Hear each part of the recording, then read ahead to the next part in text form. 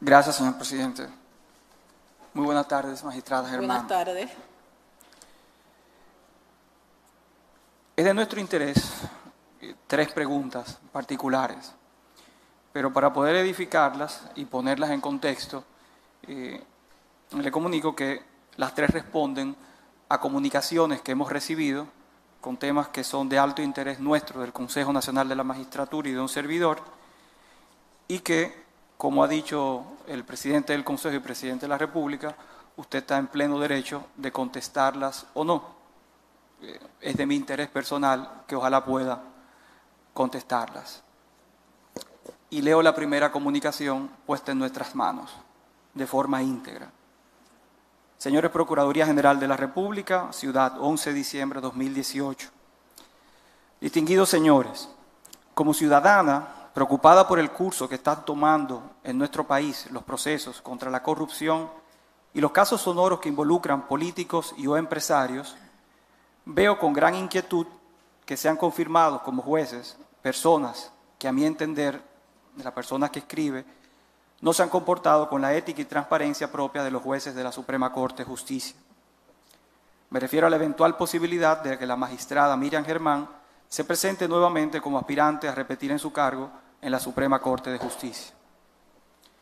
Antes de presentar los nuevos hechos y denuncia, debemos primero recordar que desde mediados del año 2017, justo antes de que fueran apresados los imputados del famoso caso Odebrecht, circuló en las redes sociales y en algunos medios de comunicación la versión de que la magistrada Miriam Germán Brito sostenía frecuentes reuniones con el imputado Víctor Díaz Rúa en su villa en San José de Ocoa. Posteriormente, la magistrada Miriam Germán reconoció mediante comunicación de fecha 23 de mayo del 2017, que fue publicada en todos los medios, tener una relación de amistad con Díaz Rúa y pidió que en caso de que el llamado caso de Brecht llegue a la Suprema Corte de Justicia, no ser considerada para ninguna participación, ni como juez de instrucción especial, ni como miembro del Pleno, si llegara el caso, expresando la magistrada que esa decisión no tenía marcha atrás y que se consideraba excluida de todo lo relativo al proceso que dio origen a su comunicación. Al ser amigos reconocidos, esa era la decisión correcta. A pesar de haberse autoexcluido de forma irrevocable del proceso, posteriormente la magistrada Germán Brito, de manera sorpresiva, viola su propia palabra y decide presidir y participar como jueza de ese mismo caso en las audiencias de Odebrecht y hasta varió la prisión preventiva impuesta por el magistrado Francisco Ortega y puso en libertad a casi todos los imputados por corrupción, recordando que la magistrada Germán en ese juicio votó disidente pidiendo la libertad de todos los imputados de corrupción, incluyendo la libertad de Víctor Díaz Rúa, pero no logró con este último. En esa audiencia que prometió no participar y que liberó parte de los imputados, la magistrada Germán Brito calificó extemporáneamente de débil el expediente del caso, vertiendo consideraciones propias de un abogado de la defensa de los imputados, lo cual es extraño, pues el expediente había sido depositado dos días antes en el tribunal, pero había sido subido apenas dos horas antes de la audiencia a su oficina, por lo que es totalmente imposible que ella pudiera haber leído un expediente de miles de páginas en dos horas y preparar un documento concluyendo que se trataba de un expediente débil. Esos mismos argumentos, casualmente, fueron utilizados también por los abogados de los imputados como si fuera una estrategia conjunta. Expuesto lo anterior y por la gravedad del hecho, aquí vienen mi denuncia y preguntas. Le ruego, magistrado, preguntar por qué en el caso más grande de corrupción de nuestro país, la magistrada Miriam Germán continúa sosteniendo reuniones ocultas con el señor Víctor Díaz Rúa. Y de manera especial, por favor, pregúntele Sí, es cierto que el día 5 de febrero del 2018, aproximadamente a las 6.30 pm, el señor Fernando H., asistente de Víctor Díaz Rúa, pasó a recogerla de forma clandestina por su casa a bordo de un Toyota Camry negro, placa A695832, y hacia dónde fueron.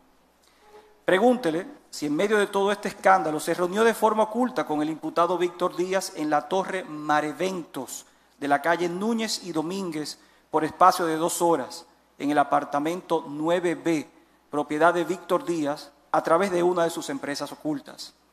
Nos interesa saber qué conversaba con el imputado Víctor Díaz Rúa, para quien pidió libertad y de forma oculta en pleno desarrollo del caso más grande de corrupción. Y si todo esto fuera poco, pregunte por favor si el 22 de noviembre del 2017 a las 2 pm, si se reunió o no también con el licenciado Santiago Rodríguez, íntimo amigo de Víctor Díaz y abogado del imputado Conrado Pitaluga, en la librería Cuesta, avenida 27 de febrero con Lincoln.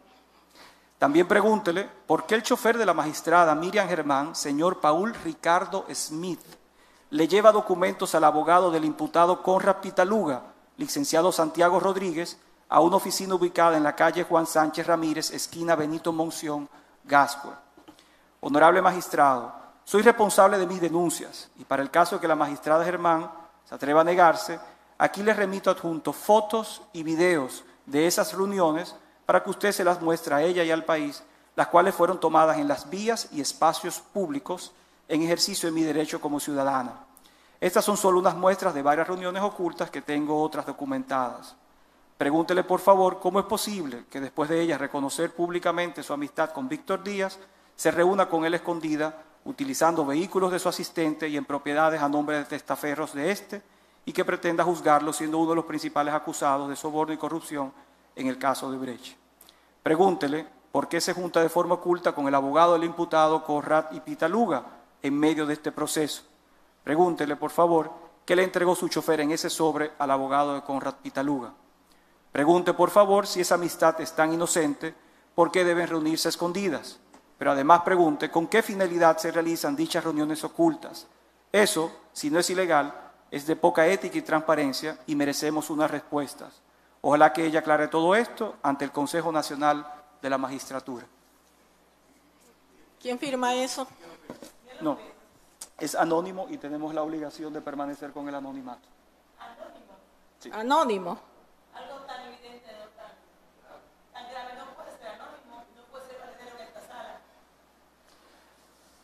Como deben ustedes saber, la Procuraduría General de la República tiene la obligación de mantener el anonimato por ley, así lo dispone la ley orgánica del, Ministerio Público, a toda denuncia. ¿Pero cualquiera puede hacer eso? Sí, nos interesa saber si es falso o no. Pero, eh, perdone, presidente. Usted, usted sí tiene los datos, no es, anónimo a nosotros, pero usted sí lo tiene. Porque si no, en Cámara de Consejo nosotros posteriormente podríamos eh, tenemos la, la, libertad, inclusive reglamentaria, no quiero, no quiero, es un tema muy grave, ¿verdad? Eh, es un tema muy grave, ¿verdad? Entonces, lo que quisiera saber, si usted la dispone de la información, pudiéramos, en el plazo de, la, de, en las formas que el reglamento tratar sí. de manera privada. Doña... Yo quiero hacer una pregunta. que dice que cualquier caso en el que usted haya intervenido, si no quiere responder, se puede reservar la, la respuesta. Me gustaría preguntar algo. Un momentito, vamos, vamos a esperar a que ella hable. En todo este asunto, yo he visto eh, Twitter refiriéndose a mí, algunos voluntariamente y otros por encargo. En cuanto a la amistad con Díaz Rúa, yo dije que no iba a conocer ni como juez de instrucción especial ni como juez del Pleno y así ha sido. Si el procurador con su servicio de inteligencia tenía todas sus informaciones, cuando yo subí a la medida de coerción, debió recusarme. Y sencillamente subí ahí porque decidí que era muy cómodo para alguien que no quisiera un juez ir por ahí poniendo un Twitter y diciendo lo que le diera su bendita gana. Entonces, así eso le permitía a cualquiera elegir el juez que quisiera que lo juzgara. En cuanto a la amistad con Víctor, estoy, la mantengo, me ha tratado con un respeto extraordinario, él me visita, no tan frecuente, y hemos coincidido en diferentes sitios. En cuanto a la oficina que está en la Benito Monción, con ¿Esquina qué fue que dijo?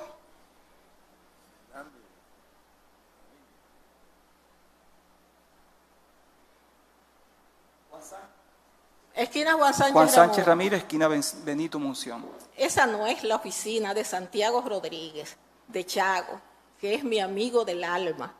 Que ojalá todas las amistades que ustedes tuvieran fueran gente como Chago. Chago es una persona con una formación exquisita, tanto en derecho como en la cultura en general. Y los paquetes misteriosos son libros que si quieren pueden ir, y vayan ahora y allánenle su oficina, Chago, a ver qué es. Y también yo le mandaba muchas cosas, no a Conra Díaz, libros, folletos, cuestiones. Era a Tony Delgado, a la oficina donde estaba eh, Díaz Rúa. Yo, en el ejercicio eh, profesional, no he sido discriminatoria con nadie. Recibo a cualquier usuario, quien sea. He establecido que casi yo debo tener una justicia de proximidad. Yo no ando buscando a, a chantajistas para que digan nada de nadie. ¿Algo más? Sí, Siga. Pregunta que usted entienda de cualquier caso que usted haya participado. Según el reglamento se puede reservar cualquier respuesta. Pues no les respondo ninguna más al señor. Muy bien. continúo. Gracias, señor presidente. Sí, al, al terminar el turno, gracias. El segundo caso, y leo la comunicación también, magistrada Germán, es el siguiente. Fecha marzo de 2019. Honorable magistrado, ha salido en la prensa que la magistrada Miriam Germán pretende continuar en la Suprema Corte de Justicia. Sin embargo, con todo el respeto en su condición, esa magistrada debe explicar al país cómo ella posee y disfruta de unos bienes que no puede justificar con el sueldo de jueza que percibe y por qué está usando a su hijo de testaferro, colocando a su nombre unos bienes que él no puede justificar, pues se trata de un joven que nunca ha trabajado y que es interdicto declarado legal, del cual la magistrada Germán es la tutora legal formal y como tal firma las compras de este joven. Como hecho alarmante, denunciamos formalmente que la magistrada Germán posee una villa en la parcela 626 del municipio de San José de Ocoa, pero la tiene a nombre de su hijo interdicto Orlando López Germán. También tiene a nombre de su hijo interdicto el apartamento 2B del residencial Manatí, en la calle Juan Sánchez Ramírez del sector Gascue. Como ciudadano y tratándose de una persona obligada por la ley a transparentar sus bienes, tengo derecho a saber por qué esos bienes inmuebles están a nombre de su hijo interdicto, cuando en realidad son propiedad de la magistrada Germán, y queremos saber cómo generó ella dinero para construir esa lujosa villa aquí en Ocoa y para comprar el apartamento de la capital.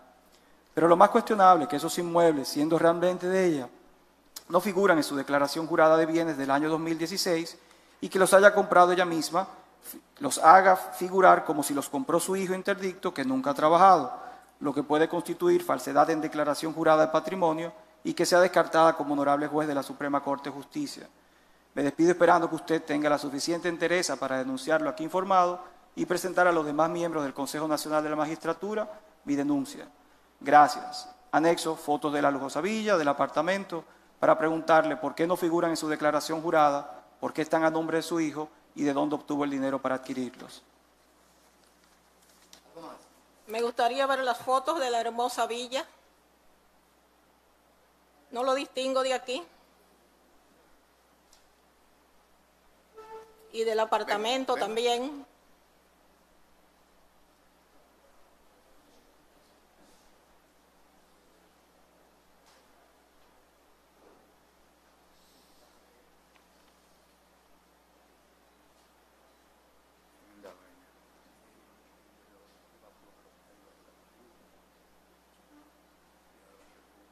Este no es el lugar donde yo vivo. El lugar donde yo vivo tiene todo el frente con enredaderas colgando. Y en cuanto a la, a la casa de Ocoa sí es esta. Y le voy a decir una cosa. Yo tengo cuatro hijos. Dos de ellos nacieron fuera del matrimonio. Su padre era el doctor Antonio López Rodríguez. Antonio López Rodríguez tenía una casa en, la, en las Mercedes. Tiene dos solares eh, frente a Hemingway. Hemingway. Tiene una un terreno que da a la Charles de Gaulle, que en título tiene 35 mil metros, pero en,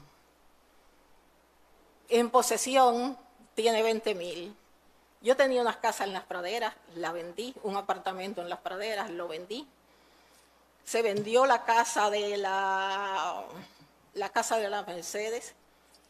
Y el papá de esos dos muchachos tiene, tuvo una cantidad extraordinaria de obras de arte.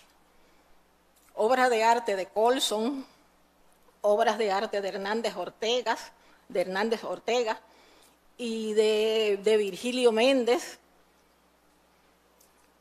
y muchísimas cosas más. Y no es que yo use a mi hijo de testaferro. Y usted ha tenido el mal gusto de decir que es... Ahorita usé el término de con capacidad diferenciada. Usted dice que es un... No, interdicto no, fue otra cosa que dijo. No, no, usted dijo algo más. Entonces, en esa casa hay parte de mi dinero y hay parte del de él, porque yo se los rega. lo que, me, lo que saqué de la venta de la casa, se los regalé a él. Y, la, y con lo que él tenía de lo que le tocó de su padre, le gustaba el campo y yo lo tuve, lo, y se hizo esa construcción. Por cierto, que el ingeniero que la hizo se suicidó hace unos meses. Y otra, y otra cosa.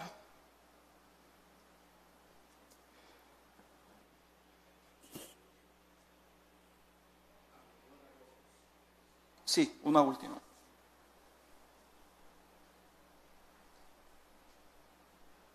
Mire, y de esas propiedades que tiene en la Charles de Gaulle y en la y en el por allá frente a Hemingway, más unas propiedades en, ¿cómo que se llama esta zona rosera por Macorís?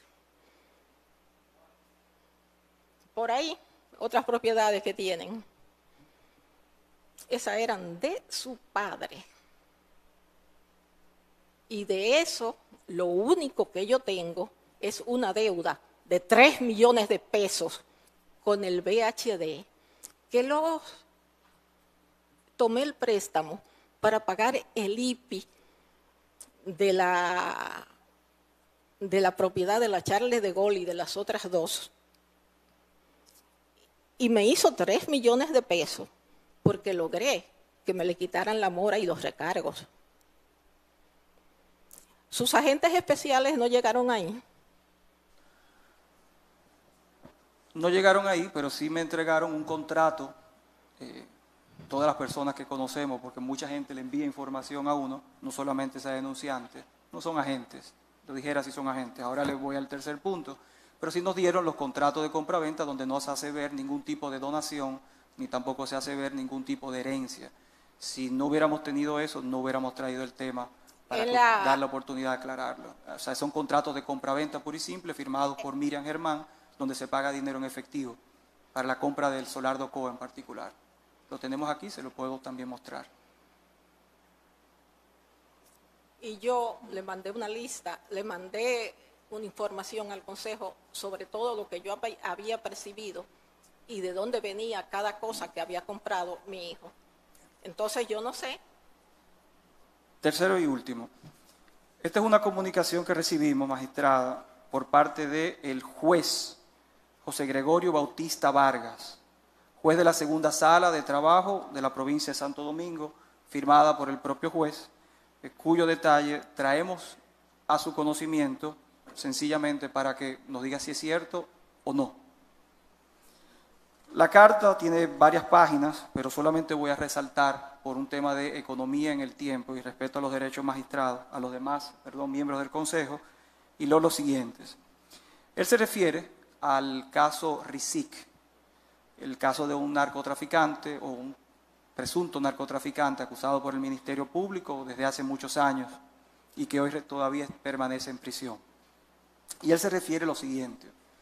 Él dice, que en atención a los anteindicado, es decir, a la narrativa del caso del narcotraficante Rizik, la conformación del Tribunal Colegiado de la provincia de Monte Plata lo fue Juan Pablo Ortiz Peguero, presidente, Bernardo Coplin García, miembro, y yo, José Gregorio Bautista Vargas, miembros constituidos únicamente para conocer el proceso seguido a los imputados Winston Rizik Rodríguez y Nelson Rizik Delgado que en el curso de la sustentación del proceso fui contactado y llamado por razones inicialmente desconocidas a la residencia personal de la jueza Miriam Germán Brito, actual presidente de la segunda sala de la Suprema Corte de Justicia, y por primera vez me hace una solicitud de tipo inadecuada, ello aparentemente basada en la relación de cercanía formada durante siete años que elaboré junto a ella en la primera sala de la Cámara Penal de la Corte de Apelación del Distrito, quien en todo momento me trató como un hijo. Sin embargo, nunca hasta ese momento me había solicitado algo de esa naturaleza. Que una vez allí me comenta que tiene un amigo español y que dicho amigo tiene interés en saber si se puede hacer algo con el proceso seguido al gallero, refiriéndose con ello al imputado Winston Rizik Rodríguez, palabras textuales, a lo que de manera inmediata le respondo sin titubeos que no, Respuesta que entendí que había comprendido y dimos por terminado el tema y procedí a marcharme a mi casa, pues ella nunca me había hecho solicitudes de esa índole. Que posterior a ese día, en el mes de abril, la jueza Miriam Germán Brito, por vía de comunicación de WhatsApp, procede a solicitar verme por segunda ocasión, refiriéndome que tenía algo que comunicarme, a lo que yo intenté evadirla, dando ello lugar a que en sucesivas ocasiones y con insistencias continuara su urgente necesidad de verme por lo que no tuve más remedio que ir a su casa. Ojo, ella me dijo que tenía que decirme algo debido a mi negativa de verla, pues ella sabía que el tema ya se había cerrado con mi negativa, lo cual no comprendí su insistencia. Sin embargo, para mi sorpresa, allí nueva vez me hace referencia al caso antes citado, preguntando si se podía hacer algo con relación al proceso en cuestión, lo que les reiteré de la misma respuesta negativa de la primera vez. No se puede yo siempre estuve firme. Que en reuniones antes indicadas, la conversación nunca superó la fase de la manifestación de la intención de la jueza Miriam Germán Brito, pues inmediatamente, sin que hubiera mayores palabras y sin que me hablara de montos ni de nada similar, le manifesté que eso que ella solicitaba era imposible, por lo que no volví a reunirme con ella.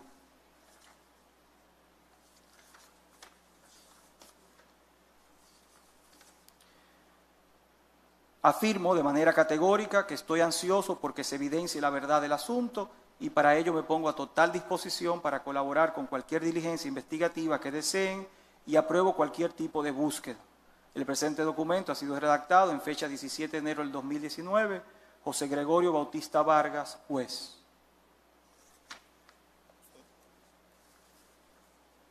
El contenido de ese, de ese documento no se corresponde con la realidad.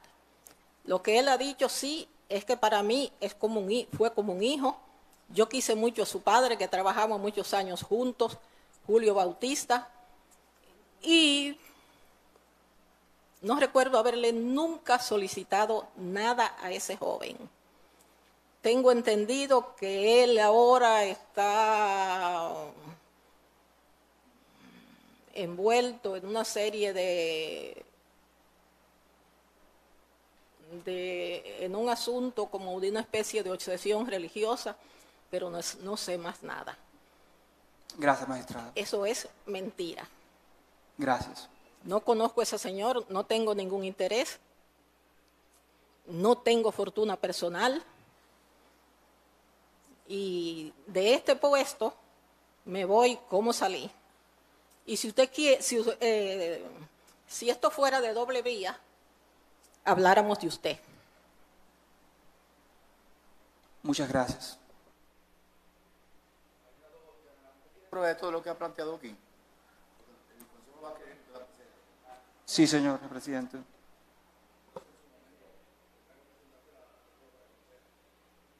Presidente, soy yo, bueno. Sí, quiero expresar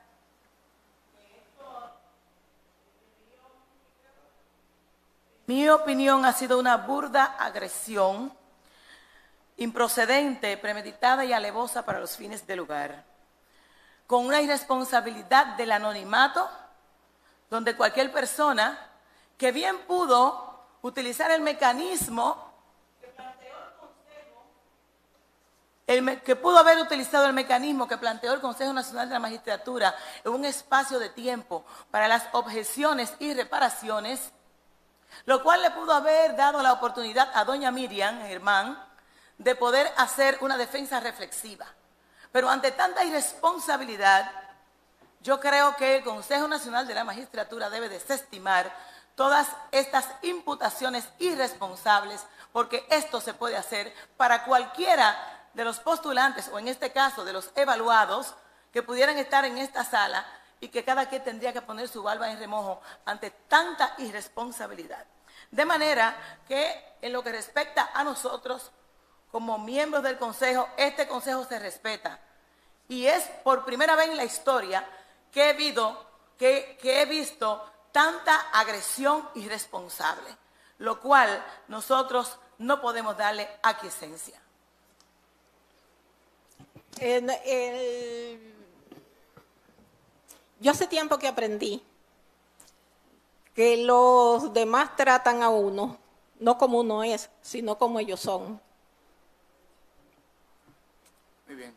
Doña Miriam, muchas gracias y lamentamos mucho No, que se haya sentido mal aquí. no, yo no pero, me siento... pero vamos a tratar de que esto se aclarezca en, en el, en el seno del Consejo de la Magistratura.